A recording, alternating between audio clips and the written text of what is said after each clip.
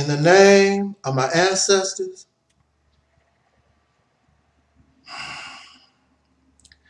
peace forever and always, and welcome to another edition of the Reality's Temple on Earth Internet Ministry.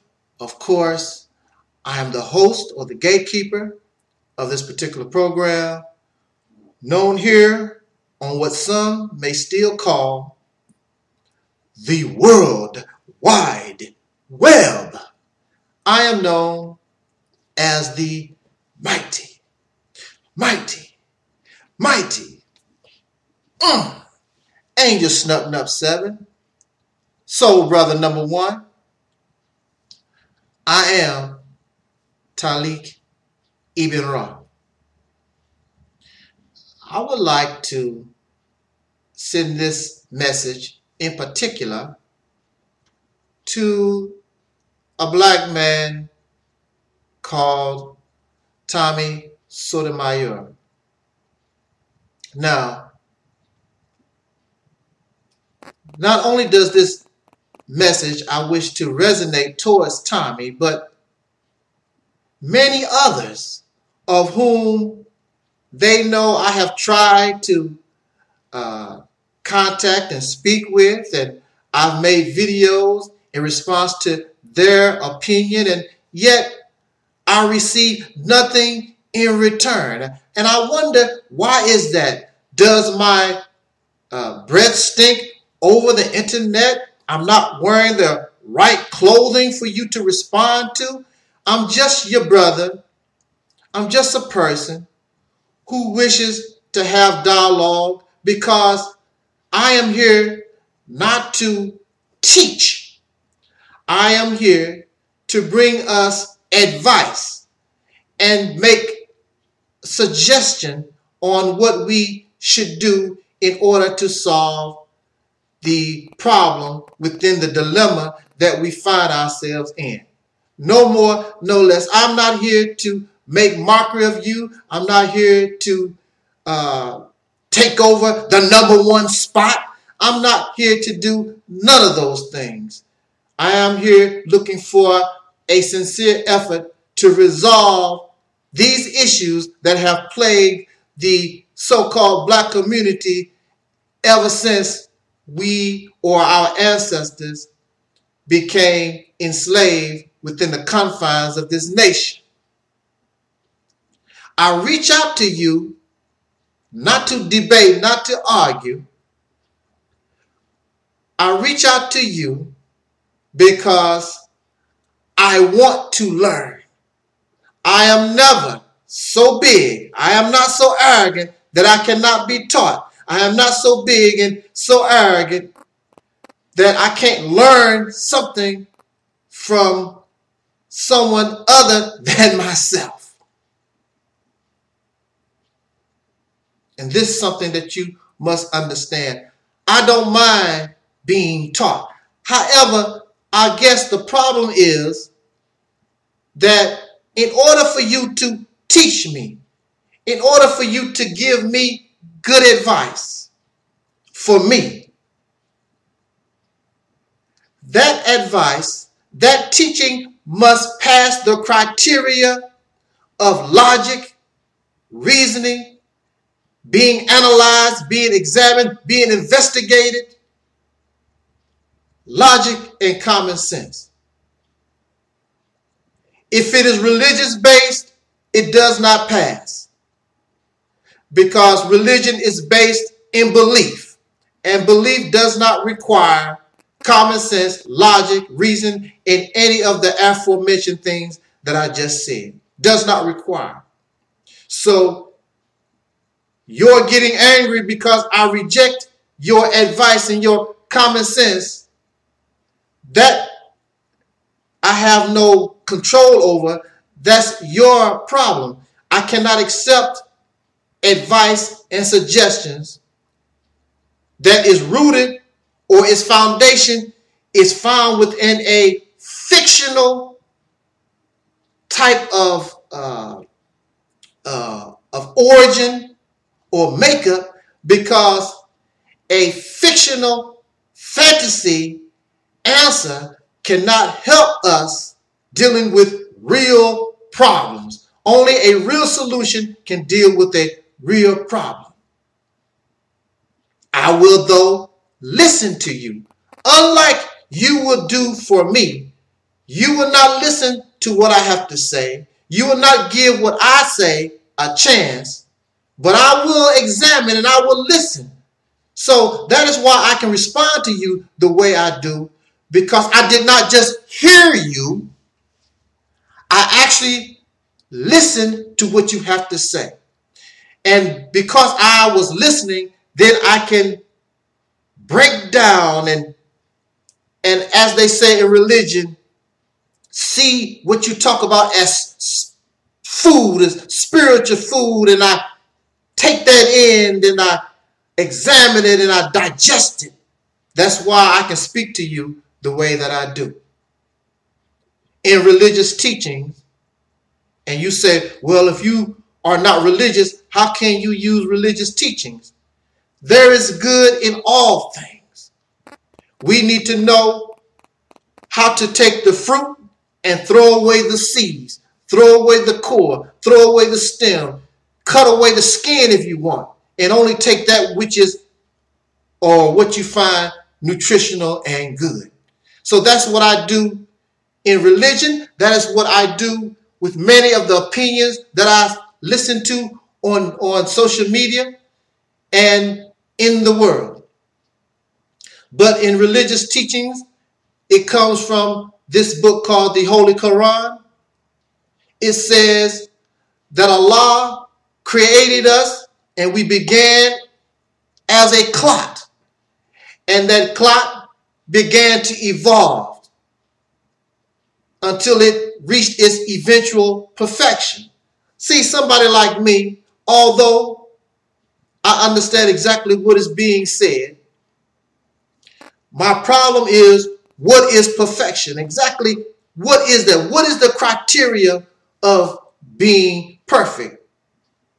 But I can understand how we begin as a clot, how we begin as nothing to speak of, and we grow and we begin to evolve into the man or the woman that eventually we become.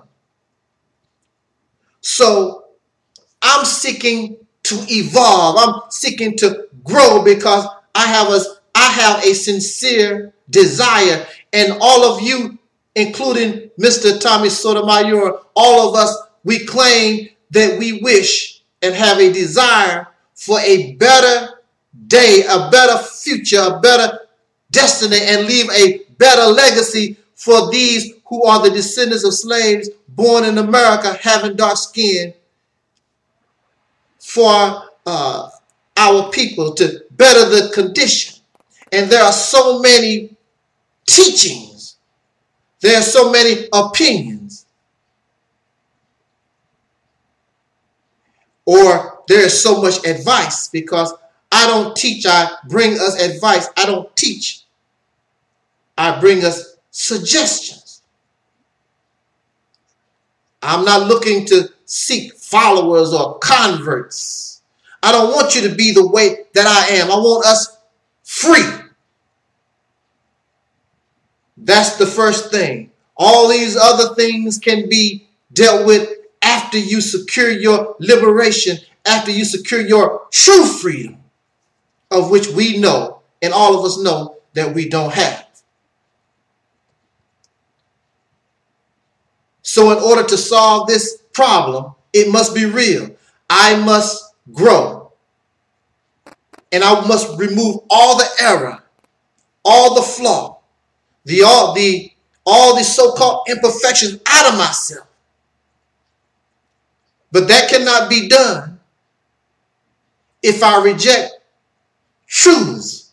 And many of us, we are ones who reject truth. It is simple as that.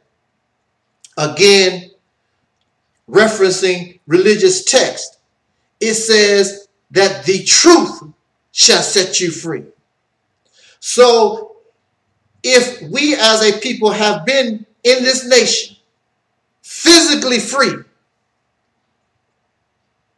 since the 19, I mean, since the 1800s, late 1800s, and we have been receiving truth, then the question must be raised, why are not you free? But yet there is so much truth. The church says it has the truth, but the people are still in a slave-like condition. The mosque says that they bring us truth, but yet and still we are in this slave-like condition. Those who scream black power say they have truth and we still remain in this condition. And I could go on and on. And these things have been tried. What comes from this ministry and what I advise and what I suggest has not been tried. So this truth, we don't know if it will work or not. However, these other so-called truths, and this is where the anger comes from, people have become loyal to these truths. They have failed, but yet and still you want to co continue to keep trying and keep going in that direction. And this is a sign of insanity to believe you can do uh, something and expecting a different result doing the same thing. This is insanity. So basically what I'm saying is that I can accept your truth. Just because people don't like Tommy Sotomayor, they reject your truth. I embrace truth. However, also your problem is when you bring up things that do not pass the criteria of logic, reasoning, common sense being analyzed and investigated, what happens is although we speak truth, we have these things that can spoil that truth and keep people from accepting that truth because of that error, because of that flaw. And we see that we're not worthy or many reject what we have to say because of these things. It's like putting a bad apple among good apples. It seems that bad apple seems to spoil the rest of the basket. And this is what we want to try to avoid. Many of us want people to praise us and honor us and call us divine and the honorable. We're not really interested in truth. We're not really interested in curing the illness that have come among our people and us as individuals. I want to say and bring up two things before I close this particular talk. What I noticed about Tommy Sotomayor. Well, well, first of all, I noticed that I have made many videos placing your name in the title. And yes, I'm looking for views. You put Madonna, you put President Obama, you put Janet Jackson, Michael Jackson, and you put girls fighting wildly. You put all these things in titles so your material, your opinion can be heard. So if using Tommy Sotomayor gets me views, then so be it. I am not ashamed yet. No big deal. It's done all the time. I have had people that use my name or try to make reference to me and the people know who they are talking about. So see, there are those who try to be slick. I don't put your name in my title. But the people that you're talking with know who I am or uh, they eventually will know. So it's the same thing. So let's not try, you know, Mr. Slick stuff. But I noticed with Tommy, you don't like talking about, and I, I've noticed that you haven't, you have no videos about domestic violence. I noticed that Caucasian pink people, they don't really speak about racism and racial issues. Most times when you are guilty of something, you don't want to talk about those things. So Mr. Sotomayor does not speak about domestic violence because he's guilty and you don't want to bring that subject up. And why wouldn't you want to bring that subject up? The reason why Caucasian people and even Mr. Tommy Sotomayor does not want to talk about domestic violence, the reason why Caucasian people don't want to speak about racism or racial issues is because they have done nothing to heal the injury that they have caused. In fact, to my knowledge, Mr. Uh, Sotomayor still continues to talk about how he will beat a woman. Caucasian people continue to shoot black folks in the street, discriminate against black people, paint us as clowns and all these other negative stereotypes. Nothing has changed. That's why they don't want to talk about these issues. Then you don't want to bring that out front because you're trying to paint yourself as this righteous, holy person, and you're not. Until you deal with these demons in yourself, until Caucasian America deals with these demons, until Tommy Sotomayor deals with these demons, then you're nothing, you cannot be taken, you cannot be trusted, nor can your truth or your advice. And it is also funny with Tommy, and I will say this very quickly. It's funny how he starts beefs and then he plays victim and has this sad face, but he uh, participated in these things and looked like he was having fun.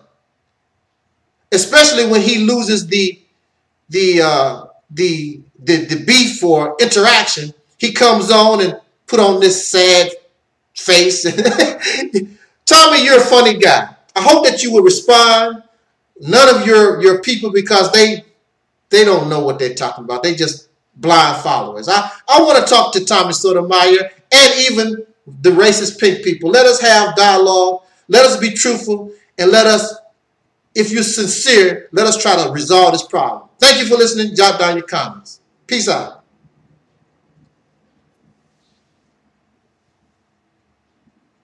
Oh, wow. I ended the video too quickly. I, thought I had the timer set for 18 minutes and 10 seconds, and I changed it to 19 minutes and 30 seconds. Uh, my bad. So we get to spend a little bit more time with one another. But I just wanted to, uh, I just, it, it makes me smile about how some of these people, you know, they behave. But I like, uh, as a as a person, his personality, and I respect the talents of Tommy Sotomayor. And again, you know, to him and Caucasian people, if you are sincere, then stop acting as though you're perfect. There are demons within yourself that you need to heal. And when people see and they can feel that you have healed those demons, you will get a better response. Otherwise, you be viewed as a faker, a hypocrite, and somebody that is a clear enemy. Now, that's the end.